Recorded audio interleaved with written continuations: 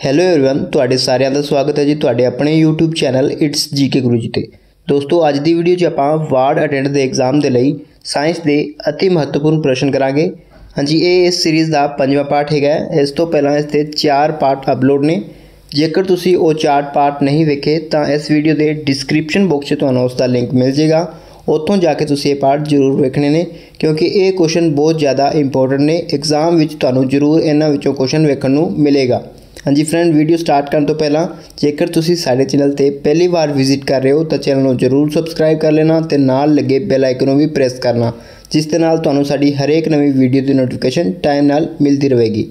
Start ਕਰਦੇ ਹਾਂ ਜੀ ਅੱਜ ਦੀ ਵੀਡੀਓ ਨੂੰ। ਹਾਂਜੀ ਸਟਾਰਟ ਕਰਦੇ ਹਾਂ। ਫਰਸਟ ਕੁਐਸਚਨ ਆਪਣਾ ਦਿੱਤਾ ਹੋਇਆ ਹੈ, ਸਭ ਤੋਂ ਸ਼ੁੱਧ ਪਾਣੀ ਕਿਹੜਾ ਹੁੰਦਾ ਹੈ? ਚਾਰ ਆਪਸ਼ਨ ਨੇ। ਫਰਸਟ ਹੈਗਾ ਜੀ ਨਦੀ ਦਾ ਪਾਣੀ। ਸੈਕੰਡ ਆਪਸ਼ਨ ਦਿੱਤਾ ਜੀ ਸਮੁੰਦਰ ਦਾ ਪਾਣੀ। ਥਰਡ ਆਪਸ਼ਨ ਹੈਗਾ ਕੂਏ ਜਾਂ ਖੂਹ ਦਾ ਪਾਣੀ। ਤੇ ਫੋਰਥ ਹੈਗਾ ਜੀ ਮੀਂਹ ਦਾ ਪਾਣੀ। ਹਾਂਜੀ, ਸਭ ਤੋਂ ਸ਼ੁੱਧ ਪਾਣੀ ਕਿਹੜਾ ਹੁੰਦਾ ਜੀ? ਮੀਂਹ ਦਾ ਪਾਣੀ। ਇਸ ਕੁਐਸਚਨ ਦਾ ਆਪਸ਼ਨ ਨੰਬਰ ਡੀ ਹੈ ਆਪਣਾ ਕਰੈਕਟ ਹੋ ਜਾਵੇਗਾ। ਨੈਕਸਟ ਕੁਐਸਚਨ ਦਿੱਤਾ ਹੋਇਆ ਜੀ, ਸਭ ਤੋਂ ਭਾਰੀ ਧਾਤੂ ਕਿਹੜੀ ਹੈ? ਚਾਰ ਆਪਸ਼ਨ ਨੇ।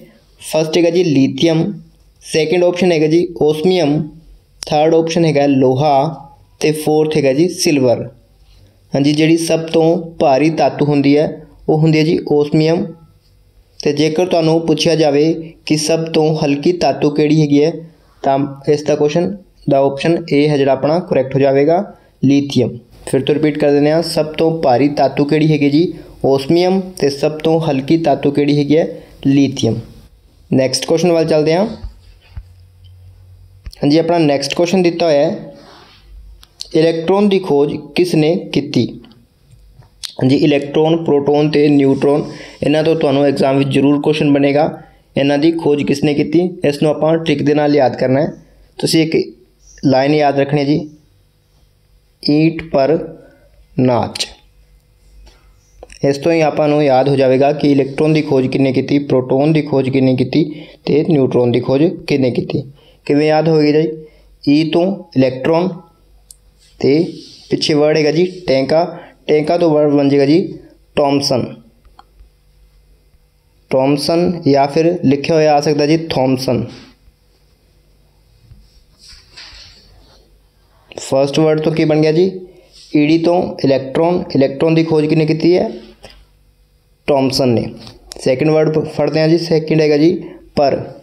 ਪਰ ਤੋਂ ਬਣ ਜਾਏਗਾ ਜੀ ਪ੍ਰੋਟੋਨ। ਪ੍ਰੋਟੋਨ ਤੇ ਇਸ ਦੀ ਖੋਜ ਕਿਨੇ ਕੀਤੀ? ਪਿੱਛੇ ਵਰਡ ਕਿਹੜਾ ਆ ਰਿਹਾ ਰਾਰਾ ਰਾਰਾ ਤੋਂ ਰਦਰਫੋਰਡ ਲਾਸਟ ਵਰਡ ਹੈਗਾ ਨਾਚ ਨੰਨੇ ਤੋਂ ਨਿਊਟ੍ਰੋਨ ਤੇ ਚੱਚੇ ਤੋਂ ਚੈਡਵਿਕ ਸਾਫ਼-ਸਾਫ਼ ਫਿਰ ਤੋਂ ਲਿਖ ਦੇਣਾ ਜੀ। ਆਪਾਂ ਵਰਡ ਸਿਰਫ ਇੰਨਾ ਹੀ ਯਾਦ ਰੱਖਣਾ ਹੈ। ਈਟ ਪਰ ਨਾਚ ਈਡੀ ਤੋਂ ਇਲੈਕਟ੍ਰੋਨ ਤੇ ਇਸ ਦੀ ਖੋਜ ਕਿਨੇ ਕੀਤੀ ਹੈ? ਟੈਂਕੇ ਤੋਂ ਟੌਮਸਨ ਸੈਕਿੰਡ ਹੈਗਾ ਜੀ, ਪਰ ਪੱਪੇ ਤੋਂ ਪ੍ਰੋਟੋਨ ਤੇ ਇਸ ਦੀ ਖੋਜ ਕਿਨੇ ਕੀਤੀ ਹੈ? ਰਦਰਫੋਰਡ ਨੇ। ਲਾਸਟ ਹੈਗਾ ਜੀ, ਨਾਚ।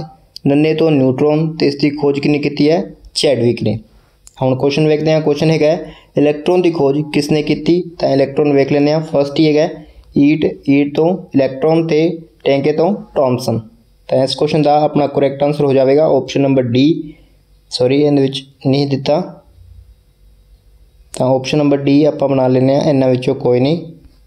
ਨਨ ਆਫ ਥੀਸ ਇਸ ਕੁਐਸਚਨ ਦਾ ਕਰੈਕਟ ਆਨਸਰ ਆਪਸ਼ਨ ਡੀ ਹੋ ਜਾਵੇਗਾ। ਨੈਕਸਟ ਕੁਐਸਚਨ ਵੱਲ ਚੱਲਦੇ ਹਾਂ। ਹਾਂਜੀ, ਚੱਲਦੇ ਹਾਂ ਨੈਕਸਟ ਕੁਐਸਚਨ ਵੱਲ। ਵਾਯੂ ਦਾਬ ਨੂੰ ਮਾਪਣ ਵਾਲੇ ਯੰਤਰ ਦਾ ਨਾਂ ਦੱਸੋ। ਚਾਰ ਆਪਸ਼ਨ ਦਿੱਤੇ ਹੋਏ ਨੇ। ਫਰਸਟ ਹੈਗਾ ਜੀ ਲੈਕਟੋਮੀਟਰ ਸੈਕੰਡ ਆਪਸ਼ਨ ਹੈਗਾ ਮੈਨੋਮੀਟਰ ਥਰਡ ਆਪਸ਼ਨ ਹੈਗਾ ਜੀ ਬੈਰੋਮੀਟਰ ਤੇ ਫੋਰਥ ਹੈਗਾ ਇਹਨਾਂ ਵਿੱਚੋਂ ਕੋਈ ਨਹੀਂ। ਹਾਂਜੀ, ਵਾਯੂ ਦਾਬ ਨੂੰ ਮਾਪਣ ਵਾਲੇ ਯੰਤਰ ਦਾ ਨਾਮ ਹੁੰਦਾ ਜੀ ਬੈਰੋਮੀਟਰ। ਇਸ ਕੁਐਸਚਨ ਦਾ ਆਪਸ਼ਨ ਨੰਬਰ ਸੀ ਹੈ ਜਿਹੜਾ ਆਪਣਾ ਕਰੈਕਟ ਹੋ ਜਾਵੇਗਾ। ਇਸ ਤੋਂ ਇਲਾਵਾ ਆਪਸ਼ਨ ਨੰਬਰ ਏ ਦਿੱਤਾ ਜੀ ਲੈਕਟੋਮੀਟਰ ਤਾਂ ਲੈਕਟੋਮੀਟਰ ਤੋਂ ਜਿਹੜੀ ਦੁੱਧ ਦੀ ਸ਼ੁੱਧਤਾ ਮਾਪੀ ਜਾਂਦੀ ਹੈ ਉਸ ਨੂੰ ਕਿਹਾ ਜਾਂਦਾ ਲੈਕਟੋਮੀਟਰ ਜੇਕਰ ਤੁਹਾਨੂੰ ਪੁੱਛ ਲਿਆ ਜਾਵੇ ਕਿ ਦੁੱਧ ਵਿੱਚ ਕਿਹੜਾ ਅਮਲ ਪਾਇਆ ਜਾਂਦਾ ਹੈ, ਤਾਂ ਉਹ ਹੁੰਦਾ ਜੀ ਲੈਕਟਿਕ ਅਮਲ। ਤੇ ਜੇਕਰ ਕੁਐਸਚਨ ਪੁੱਛ ਲਿਆ ਜਾਵੇ ਕਿ ਦੁੱਧ ਤੋਂ ਦਹੀਂ ਕਿਹੜੇ ਬੈਕਟੀਰੀਆ ਕਾਰਨ ਬਣਦਾ ਹੈ ਤਾਂ ਉਹ ਹੁੰਦਾ ਜੀ ਲੈਕਟੋਬੈਸਿਲਸ ਨਾਂ ਦੇ ਬੈਕਟੀਰੀਆ ਕਾਰਨ ਇਸ ਤੋਂ ਇਲਾਵਾ ਆਪਸ਼ਨ ਨੰਬਰ ਬੀ ਹੈਗਾ ਜੀ ਮੈਨੋਮੀਟਰ ਤਾਂ ਇਸ ਤੋਂ ਗੈਸ ਦਾ ਦਬਾਅ ਮਾਪਿਆ ਜਾਂਦਾ ਹੈ।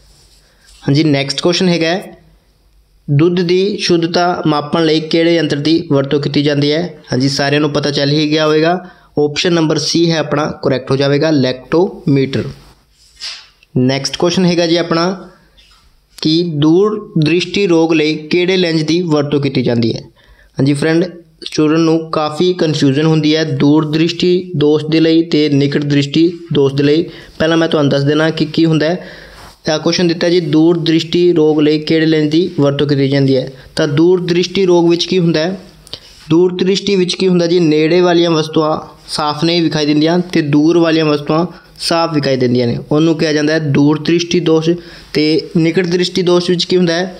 ਕਿ ਨੇੜੇ ਵਾਲੀਆਂ ਵਸਤੂਆਂ ਸਾਫ਼ ਦਿਖਾਈ ਦਿੰਦੀਆਂ ਨੇ ਤੇ ਦੂਰ ਵਾਲੀਆਂ ਵਸਤੂਆਂ ਸਾਫ਼ ਨਹੀਂ ਦਿਖਾਈ ਦਿੰਦੀਆਂ। ਉਹਨੂੰ ਕਿਹਾ ਜਾਂਦਾ ਹੈ ਨਿਕਟ ਦ੍ਰਿਸ਼ਟੀ ਦੋਸ਼। ਇਸ ਦੇ ਲਈ ਆਪਾਂ ਦੋ ਲੈਂਜ ਯੂਜ਼ ਕਰਦੇ ਹਾਂ, ਅਵਤਲ ਤੇ ਉੱਤਲ। ਹੁਣ ਆਪਾਂ ਕਿਵੇਂ ਯਾਦ ਕਰਨਾ ਹੈ? ਇੱਕ ਸਾਈਡ ਮੈਂ ਦੋਸ਼ ਲਿਖ ਲੈਣਾ ਤੇ ਇੱਕ ਸਾਈਡ ਆਪਾਂ ਲੈਂਜ ਲਿਖ ਲੈਂਦੇ ਆ ਜਿਹੜੇ ਆਪਾਂ ਯੂਜ਼ ਕਰਨੇ ਆ ਇੱਕ ਹੁੰਦਾ ਜੀ ਨਿਕਟ ਦ੍ਰਿਸ਼ਟੀ ਦੋਸ਼।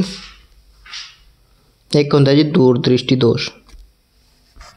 ਲੈਂਜ ਆਪਾਂ ਦੋ ਤਰ੍ਹਾਂ ਦੇ ਵਰਤਦੇ ਆ ਇੱਕ ਹੁੰਦਾ ਅਵਤਲ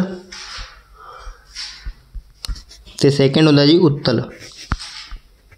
ਹੁਣ ਸਟੂਡੈਂਟ ਨੂੰ ਕਨਫਿਊਜ਼ਨ ਰਹਿੰਦੀ ਹੈ ਕਿ ਨਿਕਟ ਦੇ ਲਈ ਕਿਹੜਾ ਆਪਾਂ ਲੈਂਸ ਯੂਜ਼ ਕਰਦੇ ਹਾਂ ਤੇ ਦੂਰ ਦੇ ਲਈ ਕਿਹੜਾ ਯੂਜ਼ ਕਰਦੇ ਹਾਂ।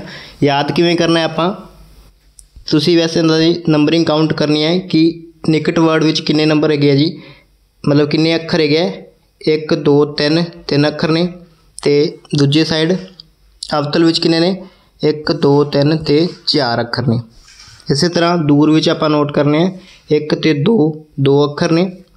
ਤੇ ਉੱਤਲ ਵਿੱਚ ਕਿੰਨੇ ਨੇ? 1 2 3 ਹੁਣ ਆਪਾਂ ਕਿਵੇਂ ਯਾਦ ਕਰਾਂਗੇ ਕਿ ਜਿਸ ਦੇ ਅੱਖਰ ਜ਼ਿਆਦਾ ਹੋਣਗੇ, ਉਹਨੂੰ ਆਪਾਂ ਜ਼ਿਆਦਾ ਅੱਖਰ ਵਾਲੇ ਲੈਂਜ ਨਾਲ ਮੈਚ ਕਰਨਾ ਹੈ। ਦੋਸਤ ਵੇਖਦੇ ਆ ਪਹਿਲਾਂ। ਨਿਕਟ 'ਤੇ ਜ਼ਿਆਦਾ ਨੇ, ਤਿੰਨ ਅੱਖਰ ਨੇ ਤੇ ਲੈਂਜ ਵਿੱਚ ਕਿੰਨੇ ਨੇ? ਅਵਤਲ ਲੈਂਜ ਵਿੱਚ ਜ਼ਿਆਦਾ ਨੇ। ਤਾਂ ਨਿਕਟ ਦੇ ਲਈ ਆਪਾਂ ਕਿਹੜਾ ਲੈਂਜ ਯੂਜ਼ ਕਰਾਂਗੇ? ਅਵਤਲ।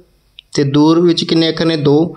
ਤੇ ਇਸ ਸਾਈਡ ਲੈਂਜ ਵਿੱਚ ਮਤਲਬ ਕੱਟ ਕੇ ਦੇ ਵਿੱਚ ਨੇ ਉੱਤਲ ਵਿੱਚ। ਤਾਂ ਦੂਰ ਦ੍ਰਿਸ਼ਟੀ ਲਈ ਆਪਾਂ ਉੱਤਲ ਲੈਂਜ ਯੂਜ਼ ਕਰਾਂਗੇ। ਫਿਰ ਤੋਂ ਰਿਪੀਟ ਕਰ ਦਿੰਦੇ ਆ ਆਪਾਂ ਵਰਡ ਕਾਊਂਟ ਕਰਨੇ ਨੇ, ਨਿਕਟ ਵਿੱਚ ਤਿੰਨ ਨੇ। ਤੇ ਜਿੰਦੇ ਵਿੱਚ ਜ਼ਿਆਦਾ ਵਰਡ ਨੇ, ਉਹ ਜ਼ਿਆਦਾ ਵਰਡ ਵਾਲੇ ਲੈਂਜ ਨਾਲ ਆਪਾਂ ਮੈਚ ਕਰਨਾ ਹੈ। ਇਸੇ ਤਰ੍ਹਾਂ ਨਿਕਟ ਵਿੱਚ ਤਿੰਨ ਨੇ ਤਾਂ ਆਪਾਂ ਜ਼ਿਆਦਾ ਵਰਡ ਵਾਲੇ ਜਿਵੇਂ ਕਿ ਅਵਤਲ ਲੈਂਜ ਨਾਲ ਮੈਚ ਕਰਾਂਗੇ। ਇਸੇ ਤਰ੍ਹਾਂ ਦੂਰ ਵਿੱਚ ਦੋ ਨੇ ਤੇ ਘੱਟ ਵਰਡ ਵਾਲਾ ਲੈਂਜ ਕਿਹੜਾ ਹੈਗਾ? ਉੱਤਲ। ਤਾਂ ਇਸ ਤਰ੍ਹਾਂ ਦੂਰ ਦੇ ਲਈ ਆਪਾਂ ਉੱਤਲ ਲੈਂਜ ਯੂਜ਼ ਕਰਾਂਗੇ ਤੇ ਨਿਕਟ ਦੇ ਲਈ ਅਵਤਲ ਲੈਂਜ ਯੂਜ਼ ਕਰਾਂਗੇ। ਹੁਣ ਕੁਐਸਚਨ ਵੱਲ ਚੱਲਦੇ ਹਾਂ। ਕੁਐਸਚਨ ਹੈਗਾ ਦੂਰ ਦ੍ਰਿਸ਼ਟੀ ਰੋਗ ਲਈ ਕਿਹੜਾ ਲੈਂਜ ਵਰਤਦੇ ਹਾਂ? ਤਾਂ ਦੂਰ ਵਿੱਚ ਕਿੰਨੇ ਵਰਡ ਨੇ? ਦੋ। ਤੇ ਲੈਂਜ ਵਿੱਚ ਅਵਤਲ ਵਿੱਚ ਕਿੰਨੇ ਨੇ?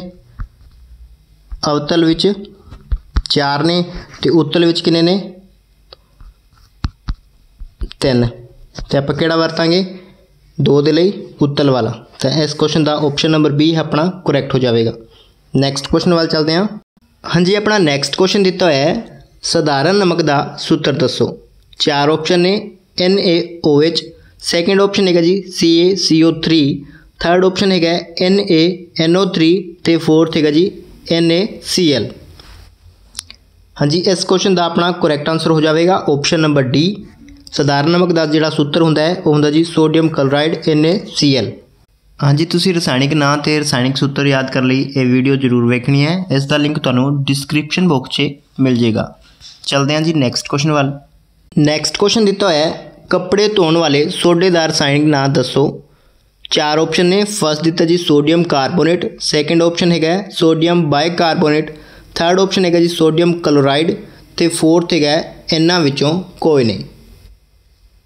ਹਾਂਜੀ, ਕੱਪੜੇ ਧੋਣ ਵਾਲੇ ਸੋਡੇ ਦਾ ਰਸਾਇਣਿਕ ਨਾਂ ਕੀ ਹੁੰਦਾ ਜੀ? ਸੋਡੀਅਮ ਕਾਰਬੋਨੇਟ ਇਸ ਕੁਐਸਚਨ ਦਾ ਆਪਸ਼ਨ ਨੰਬਰ ਏ ਹੈ ਜਿਹੜਾ ਆਪਣਾ ਕਰੈਕਟ ਹੋ ਜਾਵੇਗਾ। ਹਾਂਜੀ ਫਰੈਂਡ ਅੱਜ ਦੀ ਵੀਡੀਓ ਦਾ ਲਾਸਟ ਕੁਐਸਚਨ ਕਰਨ ਜਾ ਰਹੇ ਹਾਂ। ਭਾਰੀ ਜਲ ਦਾ ਰਸਾਇਣਿਕ ਸੂਤਰ ਕੀ ਹੈ? ਚਾਰ ਆਪਸ਼ਨ ਨੇ। ਫਸਟ ਦਿੱਤਾ ਜੀ CaO ਸੈਕੰਡ ਆਪਸ਼ਨ ਹੈਗਾ ਜੀ DO2 ਥਰਡ ਆਪਸ਼ਨ ਹੈਗਾ ਜੀ D2O ਤੇ ਫੋਰਥ ਹੈਗਾ N2O ਹਾਂਜੀ, ਜੇਕਰ ਆਪਾਂ ਨੂੰ ਸਧਾਰਨ ਪਾਣੀ ਦਾ ਪੁੱਛਿਆ ਜਾਵੇ, ਤਾਂ ਸਾਰਿਆਂ ਨੂੰ ਪਤਾ ਹੈ H2O ਤੇ ਭਾਰੀ ਜਲ ਦਾ ਪੁੱਛਿਆ ਜਾਵੇ, ਤਾਂ ਉਸ ਦਾ ਫਾਰਮੂਲਾ ਹੁੰਦਾ ਜੀ D2O ਯਾਨੀ ਕਿ ਡਿਊਟੀਰੀਅਮ ਆਕਸਾਈਡ ਹਾਂਜੀ ਫਰੈਂਡ ਅੱਜ ਦੀ ਵੀਡੀਓ ਇੱਥੇ ਸਮਾਪਤ ਕਰਦੇ ਹਾਂ।